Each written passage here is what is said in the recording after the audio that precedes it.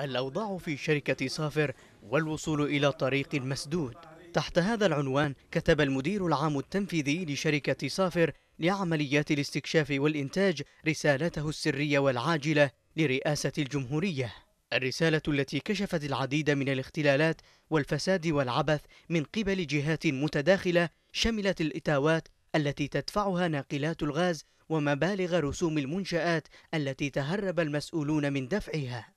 شملت الرسالة أيضا تهديد لجان التحقيق في المبالغ غير القانونية والأجور الإضافية التي بلغت ملايين الدولارات إضافة إلى التغطية على احتساب رسوم منشآت صافر المستخدمة من قبل الشركات الأمنية الأخرى. ما أدى إلى خسائر للشركة وصلت نحو 40 مليون دولار. ميليشيا الانقلاب هي الأخرى كان لها حضورها في منظومة الفساد المتمثلة في صرف مبالغ هائلة لمسؤولين عينهم الحوثي في صنعاء بالرغم من إلغاء تعييناته بحسب قرار رئيس الجمهورية وبحسب رسالة المدير التنفيذي أن ضغوطا مورست لصرف تلك المبالغ. الوجه المكشوف للفساد في شركة صافر تمثل في تعرضها لنهب منظم للنفط الخام من الآبار بحسب الرسالة.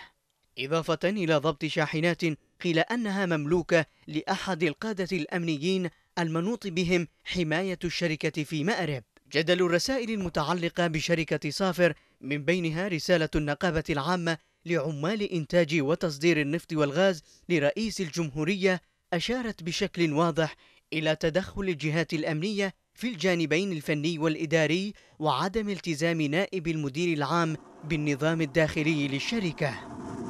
رسالة وزير النفط والمعادن هي الأخرى حملت مضامين وصفت بتجاوز الإرباكات التي مرت بها الشركة ومن أجل تعزيز الأداء أشارت إلى إلغاء كافة القرارات التي صدرت مؤخرا والالتزام باللوائح الداخلية للشركة.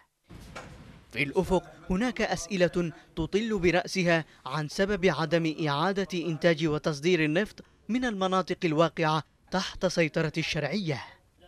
وهو ما من شأنه توفير موارد مالية ضخمة للحكومة بإمكانها تعزيز موقعها على الأرض وتمكنها من العمل بفاعلية ومواجهة التحديات الاقتصادية.